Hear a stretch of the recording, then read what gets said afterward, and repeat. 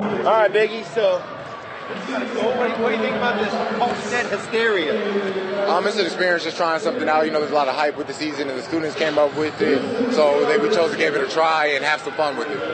Now, as uh, as part of it, you had the dunk contest and, and you won it. What thoughts about winning the dunk contest? Oh, I'm not really a, a high flyer type player. I'm more of an in-game dunker, but you know, just to have fun and just uh, get out there and try some stuff.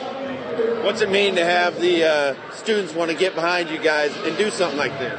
It's definitely exciting for you know. Last year we were we were very under we were very underrated and things like that. So getting to semi-state gave them a lot to look forward to this year. Yeah, that uh, that kind of sets up my next question. You guys come in pretty highly touted.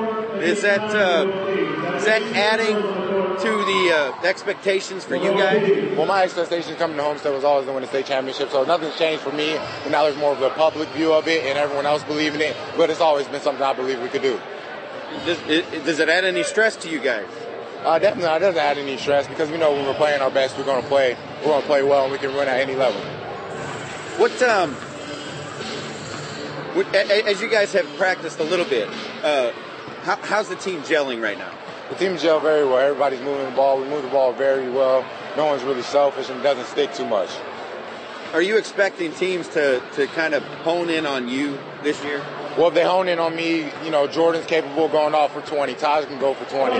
Teddy can go for 20. Dana can go for 20. So if they hone in on me, I average 10 assists. You just excited to get the game, uh, season started? Most definitely.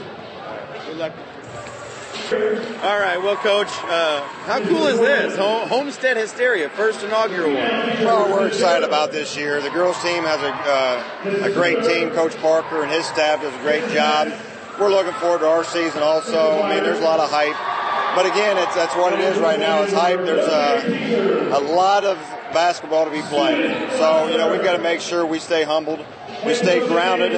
Uh, we do the little things, what it's going to take to be successful. So hopefully our kids understand that. But this is fun for the kids, just to get a little excitement for the student body and the community. But, uh, you know, we, we'll, we'll, see what we're made of uh, come Wednesday of next week. What, what do you think about the hype? I mean, it's good people are talking about your team, right? Oh yeah, it's always good that somebody's talking about you. And um, you know, we have a lot of expectations. The community has a lot of high expectations for us because of the season that we had at the end of the year last year. You know, the ball bounced our way at the end of the year. Uh, we were fortunate to where we got ourselves to the semi-state. Fell a little short, but now you know we've got to come in and work a little bit harder to get us to that next level. With, with those expectations, how do you think your how do you think your guys are handling you know all the all the hype? Well, right now they're, they're playing extremely well together. They're coming in playing hard each and every day at practice. Um, you know, as far as concern about enough balls, they're they're passing up a wide open seven foot shot to give another person, uh, one of his teammates, uh, a wide open seven foot shot. So uh, our kids right now are playing playing well.